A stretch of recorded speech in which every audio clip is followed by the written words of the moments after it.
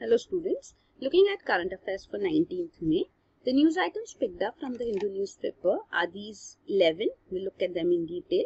The first one, India's virus tally crosses 1 lakh. Fatality count mounts to 3,157. So India's tally of COVID-19 cases has crossed 1 lakh mark on 18th May. 5,079 new infections were reported in a single day. So now the tally is 1 lakh 734 people infected due to affected due to COVID-19. But then out of these, we have seen recovered also. So 58,360 are active cases. 39,217 people have recovered too. Total death toll is of 3,157. Maharashtra tops the nationwide tally. Next comes Tamil Nadu and third is Gujarat in terms of number of COVID-19 cases. But Gujarat has much more death toll then Tamil Nadu. So where India stands uh, globally is shown here. You can see between May 11 and 17, India recorded 4,077 cases on an average, which is the fourth highest, fourth highest among all countries. USA has maximum cases hmm, recorded. Then comes Brazil, Russia, and next is India. Average new cases between May 11 and May 17. So here you can see this is the doubling time India's doubling time is also quite less. In 13.5 days, we are doubling the number of COVID-19 cases. Means if the cases are 1 lakh now, so in 13.5 days, they'll become 2 lakh. That's the doubling time. And number of tests per positive cases made is also shown. Next is ICMR revises viral testing strategy. So Indian Council of Medical Research has released a revised COVID-19 testing strategy which includes now testing of all individuals with symptomatic influenza-like illness with history of international travel in the past 14 days because now international travelers are also coming back to the country and all hospitalized patients who develop influenza-like symptoms and all returnees, migrants, they have to be if they have such symptoms then they have to be tested within seven days of illness. Also all asymptomatic means those who are not developing symptoms but they are direct and high risk contacts of confirmed cases they also have to be tested once between day 5 and day 10 of coming into contact. So these new guidelines warn that no emergency procedure should be delayed for lack of test or waiting for the result of the test. So like deliveries or any emergency procedure you know, uh, surgery required should be undertaken and uh, ICMR has also noted that influenza-like illness, what does it mean? Uh, influenza-like illness means one with acute uh, respiratory infection with 38 degrees Celsius fever or more. So, in, if you convert 38 degrees Celsius to Fahrenheit, it comes to 100.4 degree Fahrenheit.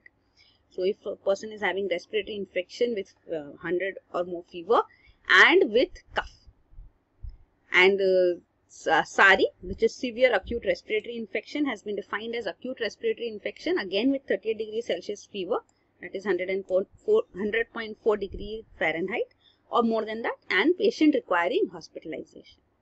So, all ILI SARI uh, patients are considered to be um, probable COVID-19 cases. So, ICMR has said that all testing in the categories mentioned in the guidelines are to be done using RT-PCR test, which is real-time polymerase, uh, polymerase chain reaction test, which is the test been undertaken for COVID-19, which give confirmed results. Also, now the difference which is there because earlier also testing guidelines included all these, but now these guidelines have allowed testing for asymptomatic healthcare workers too. Earlier only for, it was testing was only for symptomatic healthcare workers.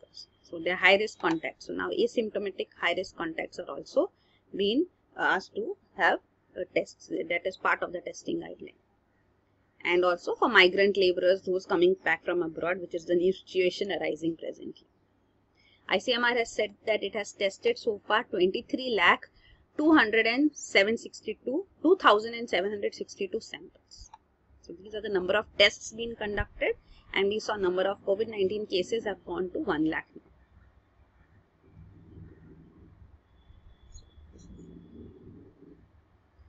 Then next is Oxford vaccine fails to shield monkeys from virus.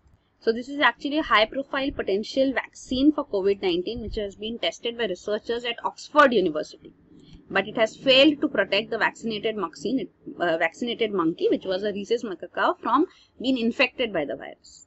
So the vaccine was uh, has uh, seemed to have protected the animal from pneumonia but not from the virus. So this vaccine candidate of Oxford has been named CHAD OX1 NCOV19. So it is being tested. It is a weakened form of a common cold virus, adenovirus, that affects chimpanzees but has been neutered to prevent replication in humans. So it is common cold virus, but then it has been given the uh, gene of the COVID-19. So COVID-19 gene is included in it. Here you can see the details are provided. You see. So it uses common cold virus that causes infections and carries the genetic material of novel coronavirus that makes the protein spike. So the spike protein binds to human receptors on cell surfaces and infiltrates the lung cells and causes the spread of the virus. So this vaccine when given on the animal, on the monkeys, it has seen that they were protected from pneumonia but not from the virus. So, but then now human trials are going to be undertaken. 1110 people are taking part in this human trial and half will receive the vaccine, other half will be control group receiving another meningitis vaccine and their response would be seen. So this vaccine is among the eight uh, potential vaccines which are being developed and are being tested in humans for efficacy now. So this is the first one to be tested for, on humans. Also an Indian institute, Pune based Serum Institute is one of the seven global institutions that will manufacture the vaccine developed by Oxford Vaccine Group once it's uh, in manufacturing stage.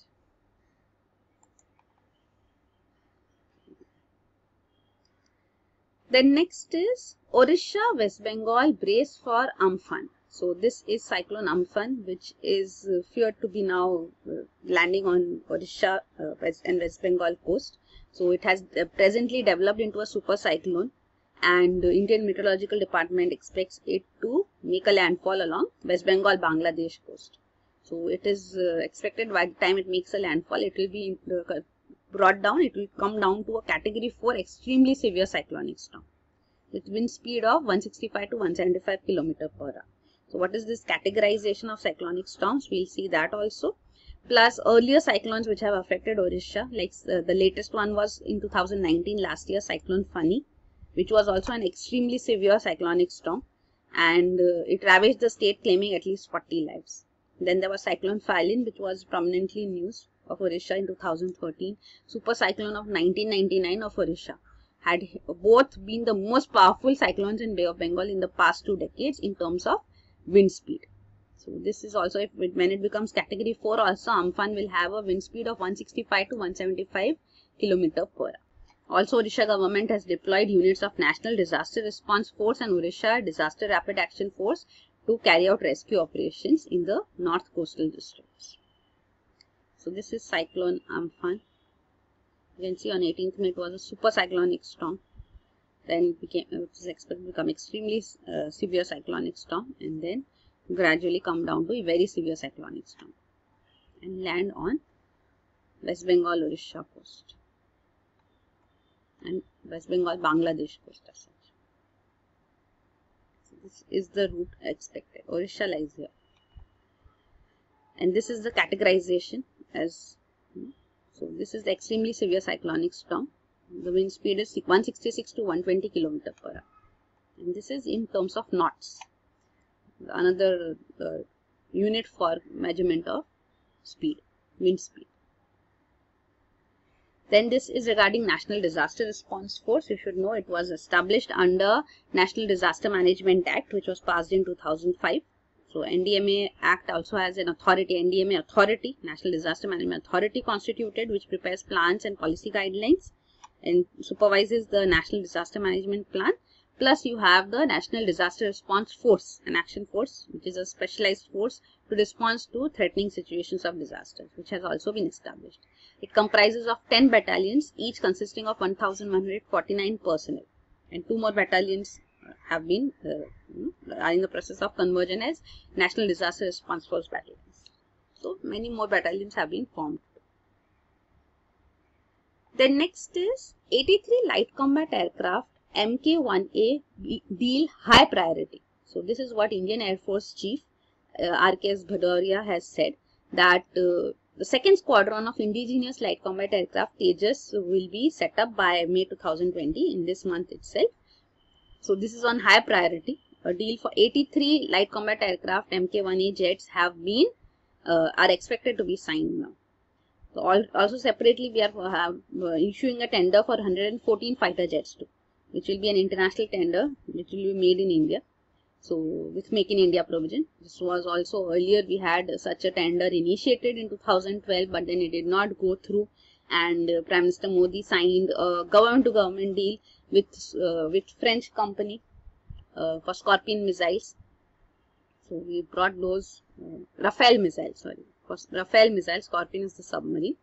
So for Rafale missiles, we got them on government to government basis without Make in India because Rafale refused to have Make in India with uh, Hindustan Aeronautics Limited. It refused to take responsibility for those uh, missiles which would be, those fighter jets which would be manufactured in the country.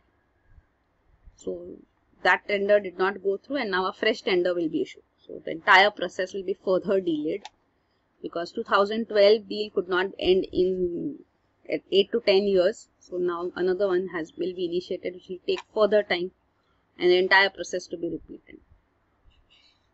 And of course there will be escalation of costs too.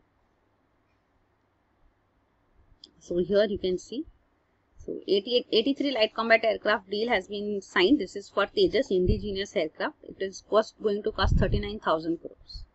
And uh, Hindustan Aeronautics Limited is going to take up the groundwork on development of Mk1A variant of the light combat aircraft.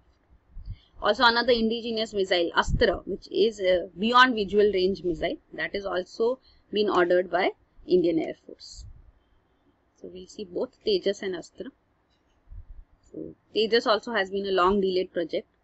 You can say it was first conceived in 1983. Its first test flight took place in 2001 when it had designed it has been designed for air to air air to ground and air to sea combat roles and it is said to be the smallest and lightest multi-role supersonic aircraft of its class. And it will be the project is executed by aeronautical development agency along with HAL Hindustan Aeronautics Limited. It was first inducted because one squadron is already there. We saw with the Indian Air Force the second squadron will be made by May end so first squadron has been formed. It was, Tejas was inducted on uh, July 1, 2016. This is called Flying Daggers, squadron number 45 of Indian Air Force, which has Tejas in it. So this is regarding Tejas. So you can see first Tejas unit was July 2016 and now second by 2020 is expected. Second squadron.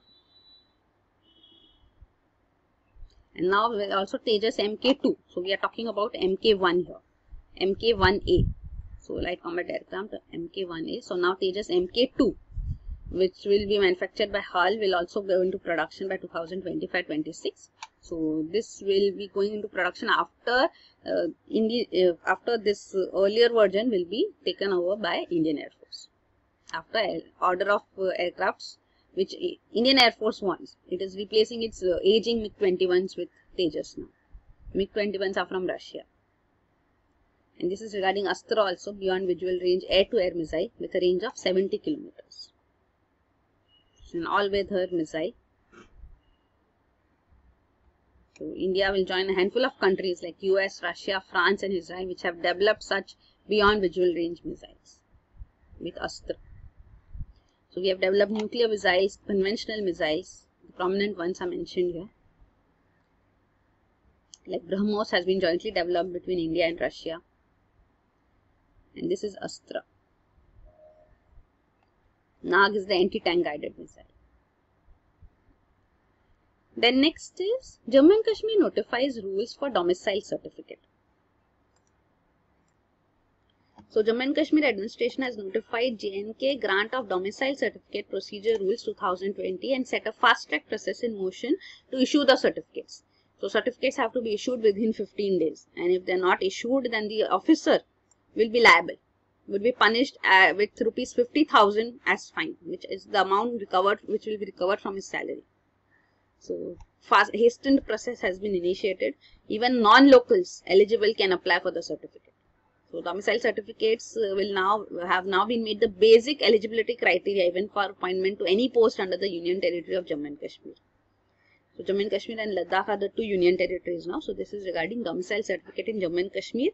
Kashmiri migrants living in or outside Jammu and Kashmir can also apply for domicile certificates. Even children living outside uh, Jammu and Kashmir of permanent resident certificate holders can apply for uh, domicile certificate and applicants can even apply electronically and get a certificate online. Then next is center drops order on wages during lockdown. So Union Home Ministry has now dropped this order. This order was given under the National Disaster Management Act by the National Executive Committee of the National Disaster Management Act which is headed by Union Home Secretary Ajay Bhalla. So, so this is because several companies had moved Supreme Court against the order last week and Supreme Court asked the government not to take any coercive action against these companies. What was the order basically was that all employers, shops, industries, commercial establishments, big or small, have to pay, pay wages to the workers for the periods the units were shut during lockdown. So now this order has been dropped. Even the order had the provision that landlords uh, should not force students and migrants to vacate the premises during the lockdown. Otherwise, action would be taken against them and district magistrates and superintendents of police, DMs and SPs are personally liable for implementation of the orders under Disaster Management Act. But now this order has been dropped because lockdown has been extended significantly too and companies are also suffering. So many are threatened with uh, loss of complete loss of business too. Then INS tells Supreme Court that employers' plight could result in breakdown of media industry. So this is continuation of the same news. This is regarding how uh, even in uh, news sector, journalists as such are being seen to be laid. So they have also approached the Supreme Court, you can see, and uh, they are demanding that they be paid salaries. But then uh, newspaper media groups say that how can we pay salaries because government has not been paying up to them too. So you can see this is journalists unions. Some media houses are introducing seeing salary and job cuts during the lockdown. So they have approached uh, the Supreme Court and filed petitions. But the newspaper industry organization responded to these petitions saying that government is to be blamed because government has drastically reduced advertising also much before the COVID-19 crisis too. There were calls from political parties to stop government advertising altogether. And already Directorate of Advertising and Visual Publicity of the government, DAVP, uh, as such owes 1500 to 1800 crores to various media companies. So they gave advertisements but they have not paid up. So this is to various media companies, print and visual media and uh, around 800 to 900 crores is said to be owed to print industry alone. And this is outstanding for several months. So when government is not paying up and government is having these uh, orders issued which now we saw in the previous news has been revoked so the media houses also call them hypocritical and discriminatory advisories because they are asking employees to pay during COVID-19 lockdown when they themselves, the state, a model employer, itself has cut salaries at the time of global, uh, at the global crisis. So then next is call for World Health Organization probe into virus origin. So an India-backed draft resolution at 73rd session of World Health Assembly has received a big boost because African group of countries have also supported this motion. This was also part of the text jointly conceived earlier by Australia and European Union too. We have also seen how India is going to chair, is chairing actually the World Health Assembly now. The 73rd session has commenced. This is the executive authority, the topmost authority of the World Health Organization. So at this 73rd World Health Assembly, the Director General of World Health Organization has been requested this is Mr. Tedros Adhanom Ghebreyesus. He is the Director General of World Health Organization presently. Has been requested to identify the zoonotic source of the virus and the route of introduction to the human population, including even possible role of intermediate hosts. And uh, this should be done through efforts such as scientific and collaborative field missions. So such a resolution has been initiated and this came after World Health Organization Director General addressed the assembly saying that he is going to review experience gained and lessons learned to make recommendations to improve the national and global pandemic preparedness and response. means about the future now, about what have we learned from it, not about the past, how did the virus come up. So this has been criticized and you can see the resolution calls for World Health Organization to investigate the origin through scientific means. So this draft resolution was earlier backed by World Health Organization 62 countries and it wants to identify the scientific events that could have contributed to the spread of the novel coronavirus and consequent pandemic. So we have seen how US is also blaming China, Australia has also raised questions. So this is again India backed resolution at World Health Organization supported by African nations on the same lines. And next is Xi defends China's open virus response. So China is, uh, is defending itself saying that they have been transparent throughout the COVID-19 crisis and uh, have offered to even share a vaccine as soon as one was available with the world. And also they have uh, pledged $2 billion in aid for COVID-19 response.